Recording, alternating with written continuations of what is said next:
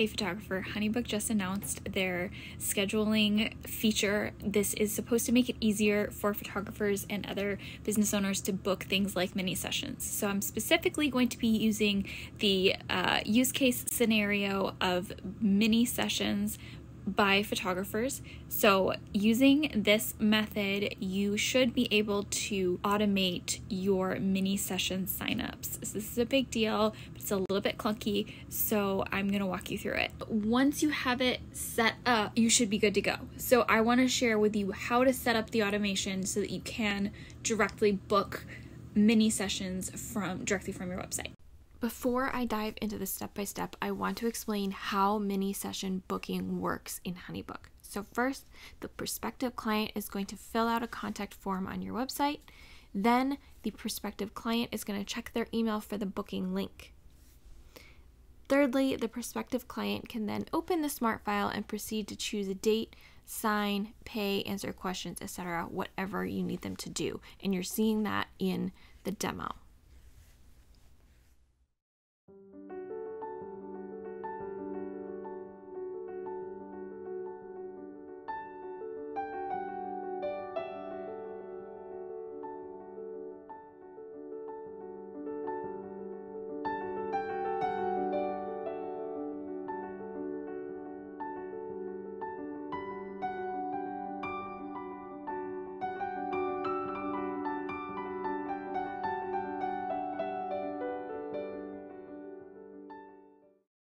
I'm going to go back. There's one thing in this smart file that I missed, and that is there's a setting that requires them to pay before their session is finalized, and I will fix that in the how to video, but it was, I didn't do it for the demo.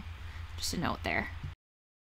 Now, what you need to make this work, um, continue watching this video. I made these slides I was to do a separate video and then realized that I actually just wanted to change my original video. So, to learn how to do this, keep watching. But essentially, here's what you need. Now, this looks like a lot and it is a lot of setup, but once it's set up, you can use it over and over again for your mini sessions. So, the first thing you need to do is create a project type specific to your mini sessions. You also need a contact form that is specific for your mini sessions. You need a session type in the scheduling feature for your mini sessions. You need a smart file created. You need an email template to smart to send the smart file and you need an automation for all of this that is triggered by the contact form that you created to send the smart file that you've created for your mini sessions. Again, looks like a lot and it kind of is. It's a little bit clunky, but once you have it set up, you're good to go. Tips for making this work well. These are very, very important. First of all, clearly communicate on the contact form that clients need to check their email, including their spam folders, in order to complete their booking. Next, note action required or something similar in the subject line of the email to get them to open it and complete their booking. Thirdly, this is very important and it's not going to make sense until you watch the how to video. But if you have a payment schedule, so if you have more than one payment where they're paying like 50% now and then let's say the rest of it is due the day of, if you have a payment schedule like that, be sure to put a date question on the contact form and make it required and make sure it is linked to the project date feature. I will mention this briefly in the how to section of this video, but this is very important if you have anything that's date dependent or if your contract includes the project date. The reason for this is that the scheduler tool is based on the scheduler feature in Honeybook, which creates a session and does not affect the project date. But the project date is what the payment schedule and some of the other smart fields depend on. Um, so that's kind of a bummer. I did talk to Honeybook support about that, and they confirmed that the scheduler tool will not adjust the project date. So, as a workaround for that, I put the project date in the contact form that is linked to the project date feature so that everything will update assuming the client puts in the correct date for both. Go ahead and watch the how to video if you want more on this. Let's dive into the content I know you're here for. Here is Honeybook. I'm in my Honeybook in my templates section. There are a number of parts and pieces here, so let's dive in. first you're going to actually go into your company settings and you're going to create a mini session booking project type. I'm going to go ahead in here and I've got to cover up my own company information. So I'm going to do that and I'll show you where it's at. So in the preferences tab, you're going to go to project types and you're going to click edit and you're going to add a project type down here. I'm going to call this mini session booking. This should be specific to your mini sessions. You shouldn't have any other project type um, or any other types of sessions going into this to make sure that you don't mess up your automation. So, mini session booking, we'll save that. And then we're going to go back over to templates.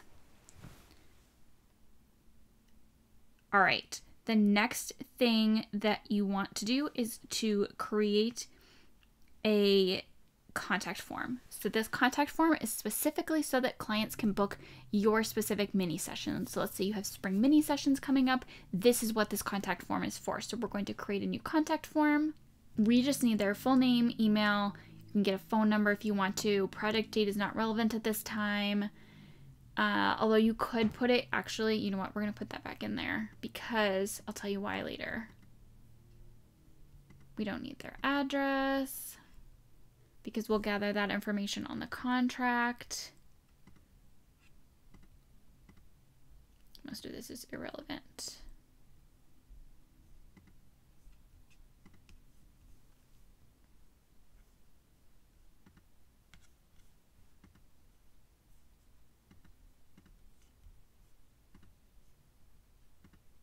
Okay. So I went up here and I clicked because I want this to link to the project date setting because when they go in to schedule their session, it's not going to be added. So this is important add project date. And this is linked to the project date field. Um, and then you're going to need to explain to them which date to put so they don't put a random date. So which day of mini sessions will you be attending? and give them an option. This is the way I'm doing it. You can do it however you want, but I'm going to use this to make it easier for me later. And then I'm going to add a little bit of text right here. And I'm going to say, all right, and this is important for them to do, so I'm going to put it in bold.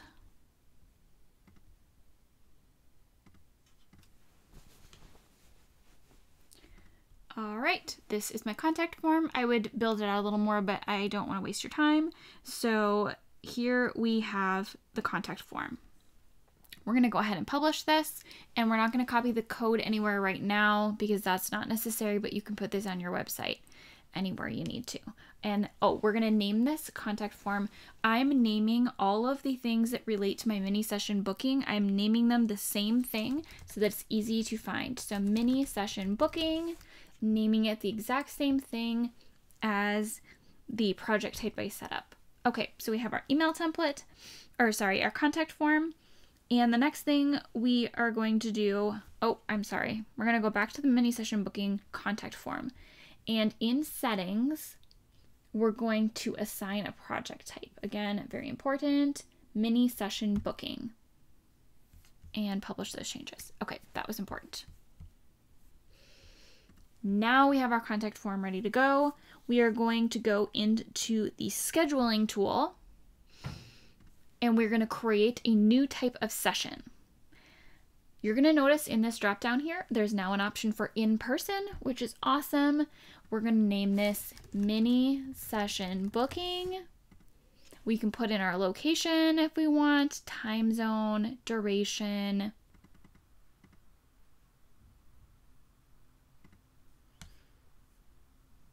Okay, so in order to allow booking, I went ahead and did fixed date range and then start date Thursday, May 4th to Tuesday, May 9th.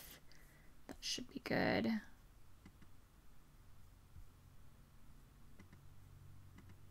And then you can add your time slots. All right.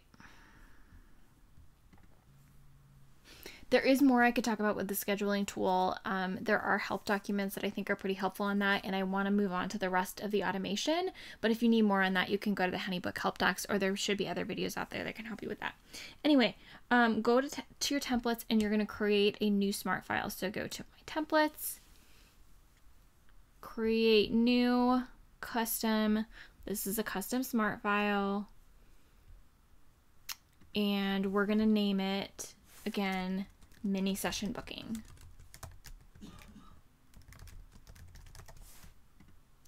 All right. And now we are going to, so the way I typically set up my um, smart files is I have a page that is a services summary and introduction. So um, this nice to meet you page, we're just going to add services.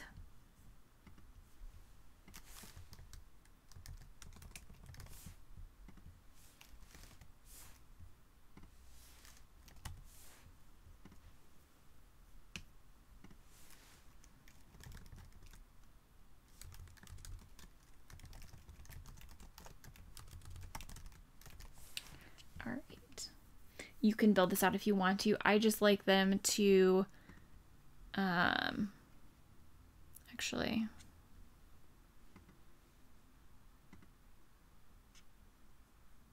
I want it to be view only. They're not selecting options. If you had other options, you could put them here, but I just want it to be the mini session.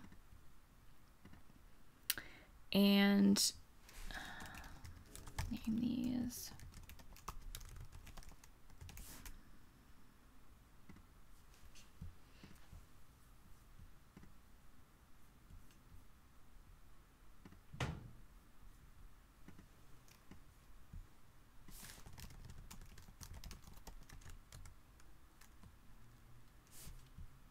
I'm going to add a project date smart field on here and a services recap and a payments recap. So let me actually add a payment section. Um, this is very flexible as to how you lay it out.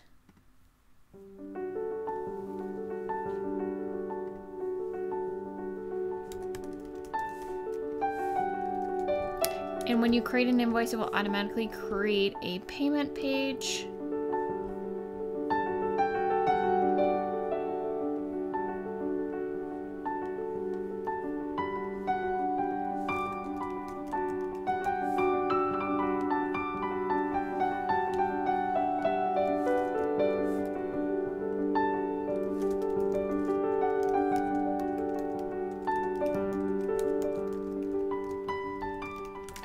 Where you can add any of these things. A thank you, next steps, a questionnaire, any of the things. You can add questions, you can add text, any of the things. Okay, now here is the part that you were all waiting for. We are going to add a block to a page called reserve your time slot and we are going to add the scheduler and then we're going to add the session that we created called mini session booking. And they can choose from, now it's not going to update in here. You're going to have to preview it in order to see it.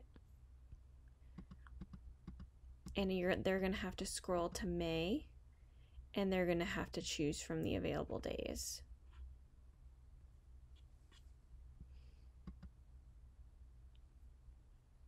Um, but they will so they will show up in the final thing but they're not going to show while you're creating other thing to note is that there's one very important checkbox you need to you or one slider you need to click and that is this one over here client must pay to reserve session and if you click the little question mark here, you see that some information comes up. When turned on, the client can select a time slot, but the session will only be scheduled after they pay. And this is very important if you are charging for this session. So turn that on.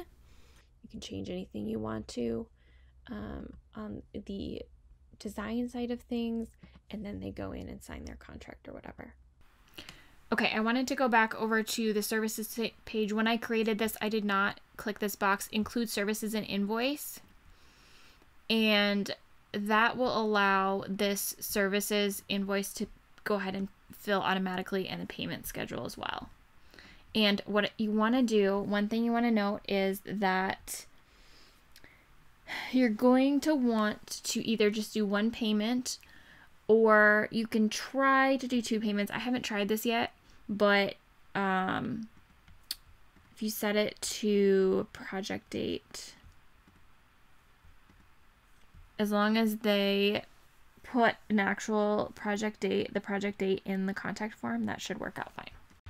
Note from future Amy, I have since tested this and it does work to put the project date in the contact form. Anyway, we are moving on to the email template. So let's create an email template to send our smart file.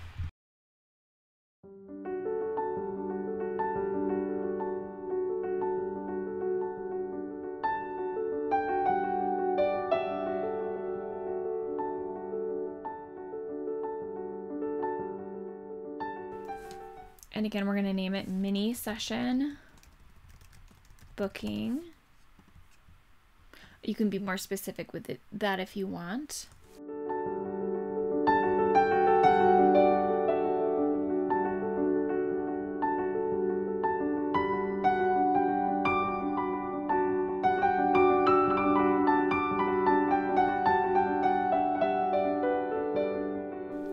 And we don't have a finish booking button yet, but don't worry about that for now. All right, we are ready to create an automation. So we're going to go to Tools, Automations, New Automation, add your first action, which is going to be send a smart file via email. And we're going to choose the smart file template that we made, which is called mini session booking use template. And that is actually all we need for this automation. So you could add, totally add more. You could add um, a guide. You could add um, another invoice. You can add all kinds of things to this automation, which we are going to rename mini session booking. But for now, we just need to get them booked, right? So we're going to send the smart file via email. Smart file template is mini session booking and send via email mini session booking. Preview and edit. We're going to edit this button. So remember, this is the email that we made earlier, but we're just going to edit the button text to say finish booking. And then you want it to be set zero days after automation is activated because you want this email to be in their inbox just as soon as they submit their information. One thing that you can toggle on and off is to require approval before sending. If you want to ensure that it's not a spam lead or something like that before you send it, or that everything is good to go, or there's no special conditions, you can select this. I'm just going to go ahead and have it auto send. And then we're going to close out of this and we're going to go back and you can see um, this mini session booking down here, you want to make sure, so it says automate via contact form. You absolutely need to select this or this won't work at all. So we're the, these are the project types that we created at the very beginning. We're going to select um, mini session booking. So I have a bunch in here. Mini session booking is what we're going to select. And there we have it. So when people fill out your contact form. Okay, so I'm going to preview this really quick. When people fill out this form, they will be able to finalize their booking without you having to do anything, which is really exciting. Um, please let me know in the comments. I'll try to check them pretty regularly for the next couple weeks. Um, so to, until the end of January, I'm going to be checking these comments really regularly. Um, if you have questions, because I know this is a new feature and it can be a little bit of work to set up, especially if you haven't messed with automations before. So let me know if you have any questions, but I hope this video was super helpful and I hope that you are able to streamline your mini session booking process with this system. If this just feels like too much for you or you want some assistance, please don't hesitate to reach out. There's a link in the description below to schedule a call with me just so that we can chat about what you're dealing with. If we can deal with it in less than 30 minutes, I'm happy to help you with that. If you'd like additional help, um, you are absolutely welcome to book a service with me as well. Um, I'd love to help you get your Honeybook um, ready for busy season.